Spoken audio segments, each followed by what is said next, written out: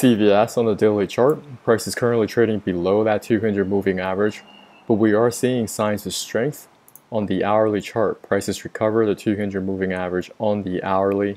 This is more of a long-term play, a value play. Taking a quick look at the fundamentals, they're increasing their top line revenue while remaining profitable. This company also pays out dividends.